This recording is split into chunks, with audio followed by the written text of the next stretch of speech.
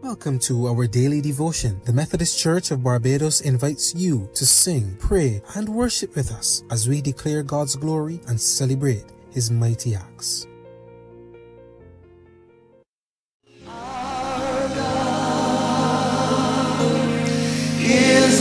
awesome God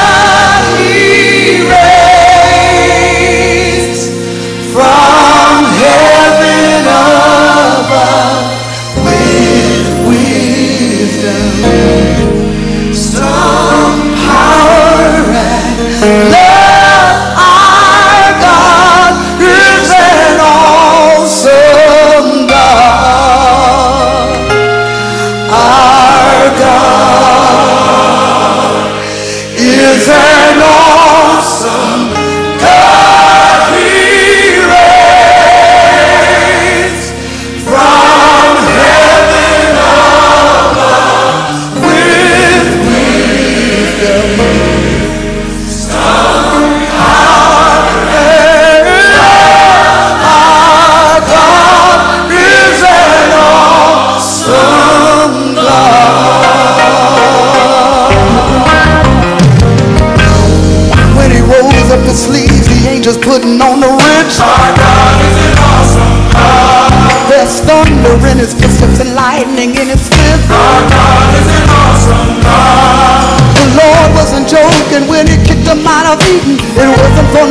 that he shed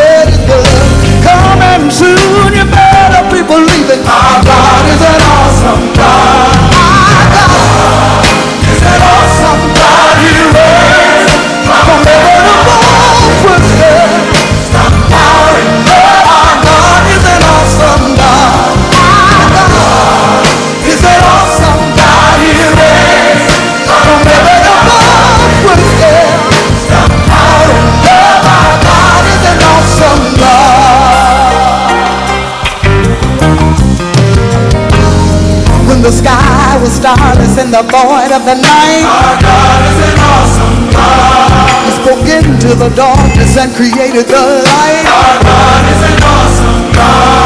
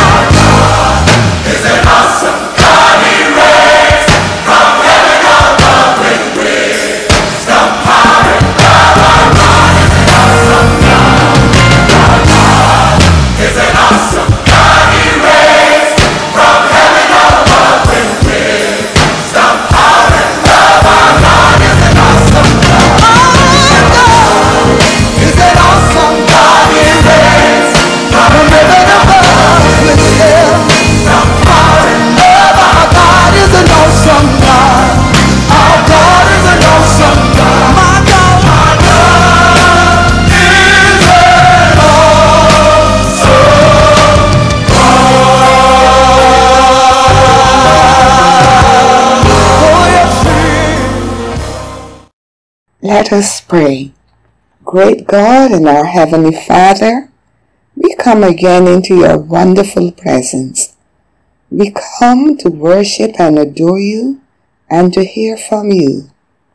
We think of the words of that beautiful Psalm, Psalm 8, that tell us how excellent and how majestic and glorious is your name in all the earth. Words that remind us again of your awesome creative power as revealed in the heavens, in the moon, and in the stars. We are called to contemplate on why such a wonderful, mighty God would give any consideration to us human beings, to love and care for us, And yet you do, crowning us with glory and honor. Yet in spite of all of this, we confess, Lord, that we so easily lose sight of who you are, of all you have done for us. We often go about our own way without a word of thanks and gratitude, without remembering you have bestowed on us honor and glory and dominion over your creatures. We often turn away from you in pursuit of our own selfish desires and passions. We follow gods of our own making. For all this, Lord, we humbly ask your divine forgiveness. As we come with penitent hearts, we ask that you forgive us and renew our mind to right thinking and relationship with you. We thank you that in your love for us, we keep receiving, you keep receiving us back to yourself again and again. For that is how great your love toward us is. And so we come to you again, giving you thanks and praise as we rejoice in the restoration you so freely offer us. We pray that our lives will so glorify your name, that others who see and hear us will be drawn to you, will come to see and know you as their wonderful, loving, gracious Father. We pray, Lord, that your hand of love and mercy and provision will be revealed to all people suffering loss of any kind through all kinds of diseases, through bereavement and unemployment and natural disasters, especially in relation to the volcanic eruption in St. Vincent. We show, show your hand mighty to save in whatever situation may overtake us, Lord.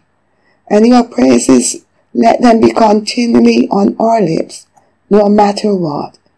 All this we ask in the wonderful name of Jesus, our Lord and Savior, and soon coming King. Amen.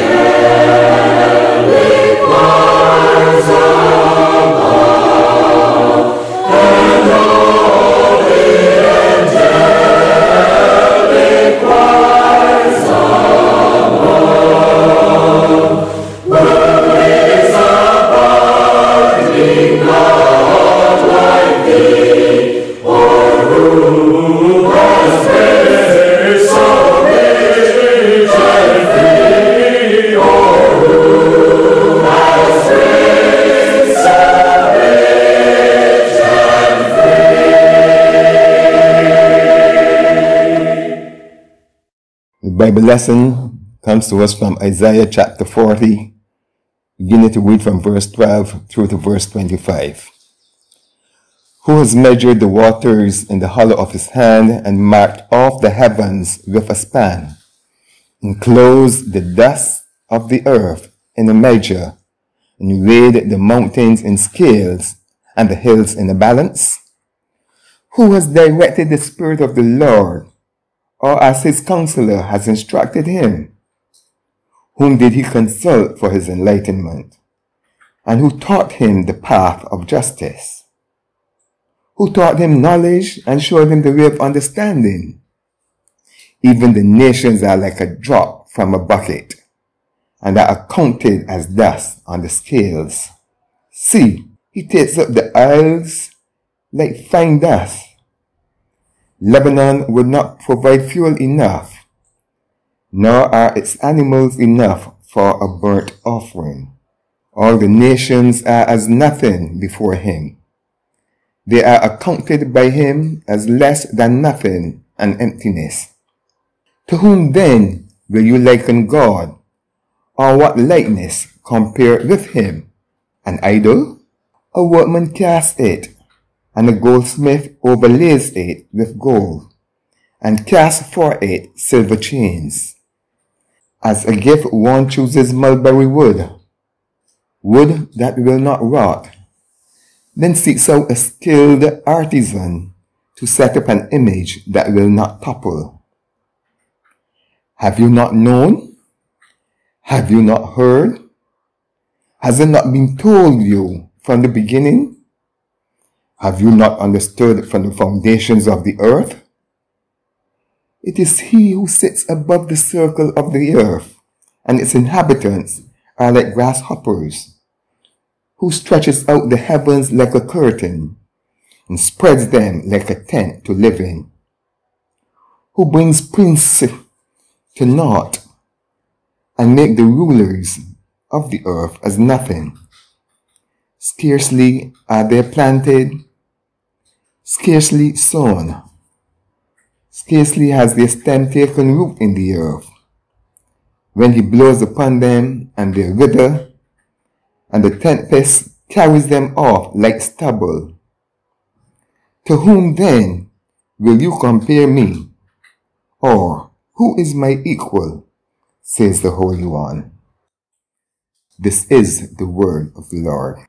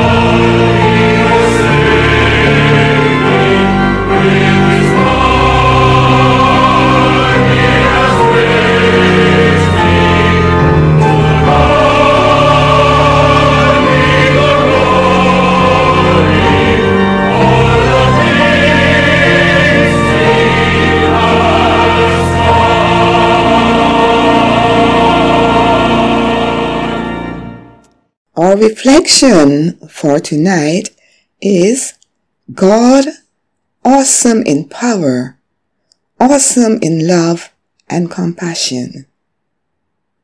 And so I speak to you in the name of our Lord and Savior Jesus Christ. And may each word go forth with the anointing of Holy Spirit, such that it touches every heart of every hearer and draws him and her into a closer and deeper relationship with our wonderful, mighty, powerful God. Amen. Questions, questions, questions. Questions are a normal part of our everyday lives. We hear questions between parents and children, especially three-year-olds and teenagers.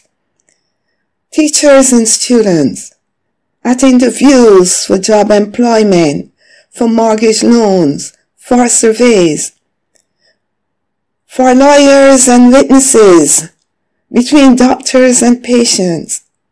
We are all familiar with questions and questioning.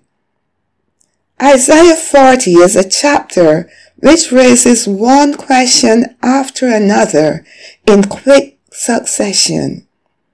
Beginning at verse 12, let us take another look at the first set of questions asked. Who has measured the waters in the hollow of his hand? and marked off the heavens with a span, and enclosed the dust of the earth in a measure, and weighed the mountains in scales and the hills in a balance? Who has directed the Spirit of the Lord, or as his counselor has instructed him?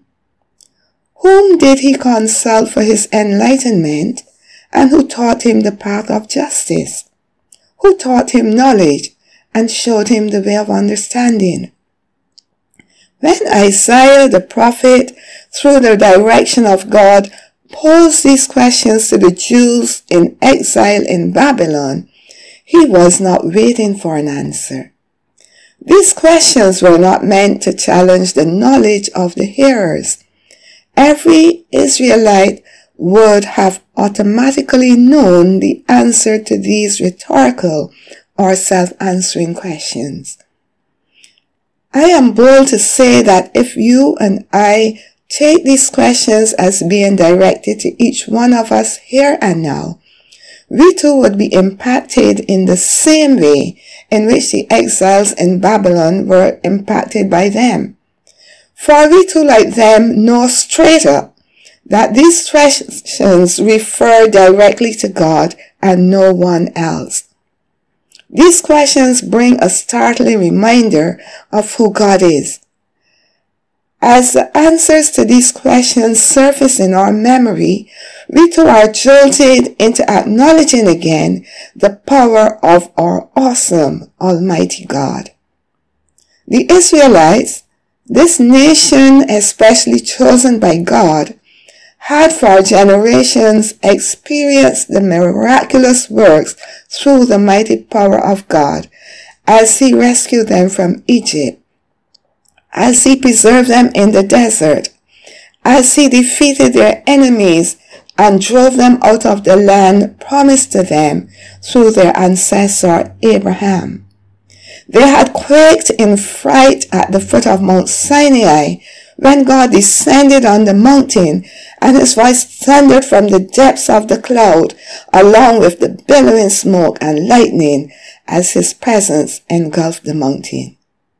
Yet these people had repeatedly turned away from their one true God of such awesome power to follow the way of pagans and to make and worship false gods of wood and stone. The Israelites believed firmly the reason for their exile in Babylon was God's judgment for their repeated spiritual adultery, their disloyalty to Him. No wonder this question was asked of them in verse 18 and 19. To whom then will you liken God? Or what likeness compare with Him? An idol? Have you not known? Have you not heard? Has it not been told you? Have you not understood from the foundations of the earth? Do you not begin to grasp the awesomeness of God? Although these questions were addressed to the Israelites, God's chosen people, so many years ago, I say to us that they are asked of us, His church, today. We need to pause and take time to consider such questions as these. For these questions are meant to jolt us, to pull on our heartstrings, to bombard our consciences, to begin to stir in us a new consciousness of how awesome and mighty is our God. Lest we forget. Lest we forget. Lest we too, like the Israelites, slip to that place where we can so easily take God for granted. So how do we, the members of God's church, compare with the Israelites? Is it that many of us today, like the Israelites, have forsaken our God? Have we created and now worship idols of our own making? For idols today are much more subtle than in Old Testament time and can misguidedly be seen as good. For example, we work diligently and hard to create wealth, fame, status, a good looking physique, a beauty queen appearance, to acquire academic degrees of all kinds, high prestigious jobs wherever possible. Find life based on the acquisition of material things. Nothing wrong with this activity. But in the process, there is often a subtle, gradual erosion of the prominence of God in our lives, in our zeal for God, in the time we spend with God. The place of God in our hearts and in our lives takes a far second place to the busyness of the lifestyle we now lead and the things we have set our hearts on. And what is so dangerous about this is that we do not realize it is idolatry. It has supplanted God in our lives. So we worship at the feet of the idols we have created for ourselves. We have lost our way in the maze of life as we now unwittingly worship these seemingly harmless false gods. Even in the body of the church, this is happening. In Revelation 2 verse 4, after commending the church at, at Ephesus for their hard work and perseverance, we hear Jesus saying to them, but you have abandoned the passionate love you had for me at the beginning. Think about how far you have fallen. Repent and do the works of love you did at first. We may still be coming to church, but church busyness may have replaced our love for God and has become our idol. Our love for God no longer holds the highest place in our lives, in our worships. Like the Israelites, we are in a state of exile from God. Isaiah not only raised thought-provoking questions as directed by God, but also forcefully reminded the Jews of God's greatness with statements such as those found in verses 22 and 24. It is he who sits above the circle of the earth. Its inhabitants are like grasshoppers. He stretches out the heavens like a curtain. He brings powerful world leaders to nothing. They are here today and gone tomorrow, just like that. These statements say so much. God enthroned above the earth, seeing everything everywhere. Grasshoppers. Who? You? Me? Just pause for a moment and think how we view a grasshopper. Yes, That is what God says we are in comparison to Him. This should be a very sobering thought. What can we answer to God's question as he, that he asked of the Israelites then? To whom will you liken me? Or to whom shall I be equal? says the Holy One. We are invited to look up into the heavens, into the night sky, and observe all the hosts of stars he has created, each one of which he knows by name, each one of which is accounted for.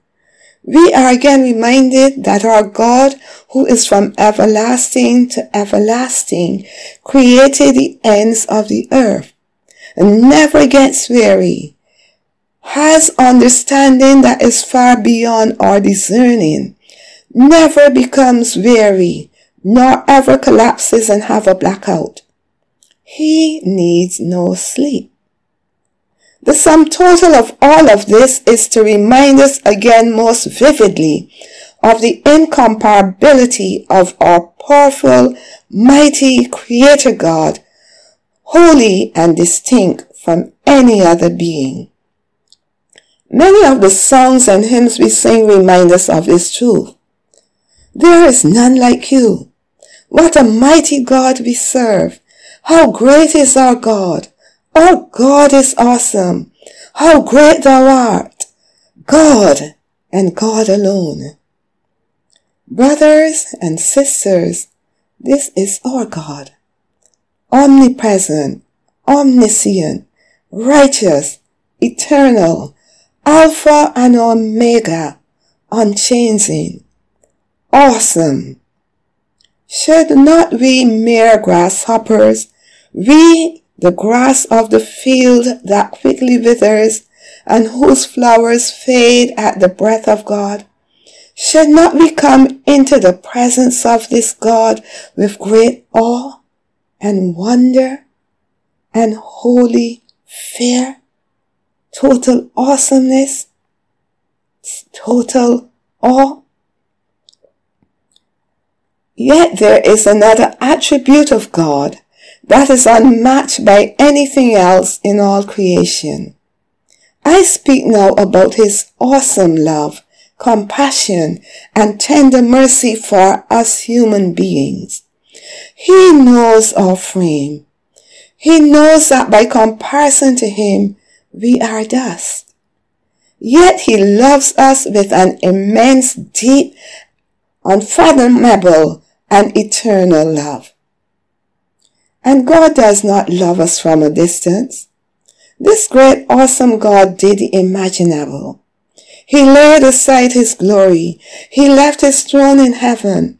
He laid aside his kingly crown and all his glory to come down to earth in human form in the same form as us grasshoppers to demonstrate his love for us. Jesus, Emmanuel, God with us, came and lived among us to show us in visible ways how much he, our God, loves us. Can love be more visible than in the way Jesus went around healing all manner of diseases, casting out evil spirits, breaking demonic holds over persons that kept them in physical and spiritual bondage. He did this in the synagogues, in homes, in streets, in towns, in the country, by the seaside.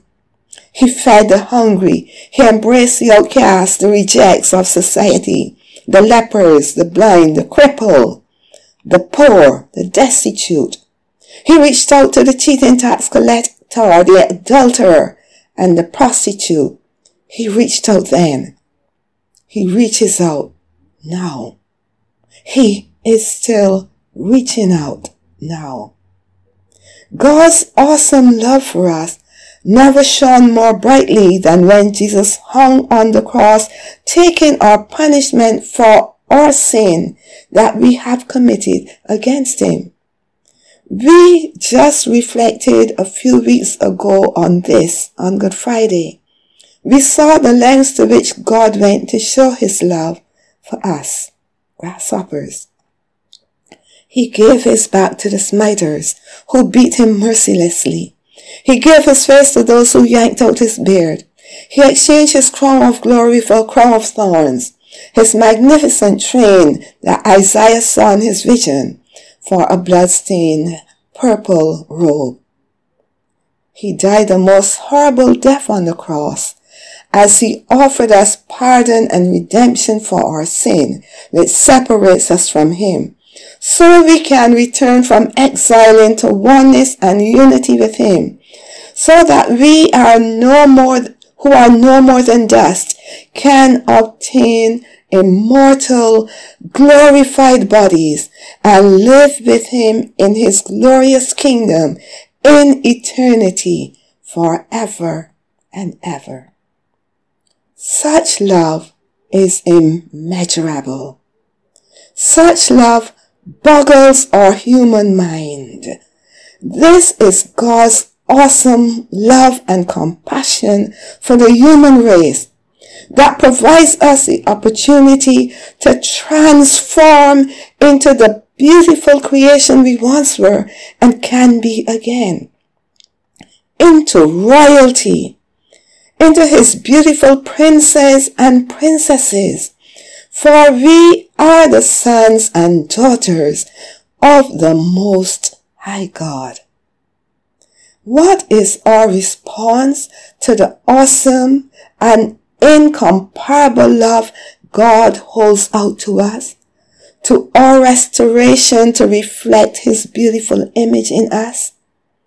As we reflect on this, can we come with deep humility into the presence of our amazingly wonderful God? Can we pull down every idol we have created and let Him be God and God alone of our lives? Our God is an awesome God. But this God loves us immensely. This God wants to be truly our Father. This God wants to be God in our hearts. I close with this verse from Hebrews 12, 28 to 29. Therefore, since we are receiving a kingdom that cannot be shaken, let us give thanks by which we offer to God an acceptable worship with reverence and awe. For indeed, our God is a consuming fire. Our God, awesome in power, our God, awesome in love. In the name of the Father and the Son and the Holy Spirit. Amen.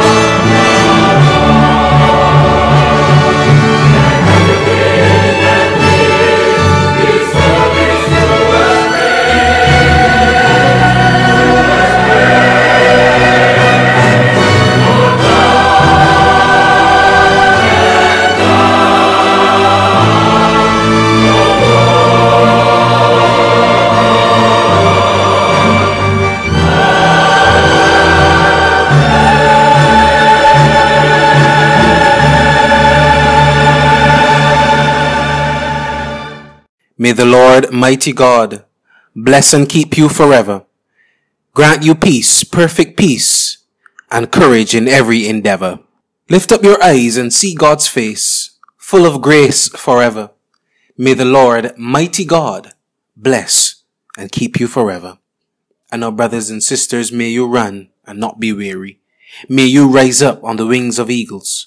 May you know without doubt that the everlasting God goes with you. Amen.